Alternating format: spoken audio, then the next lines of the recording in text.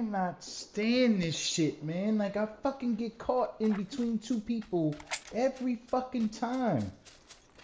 I'm so fucking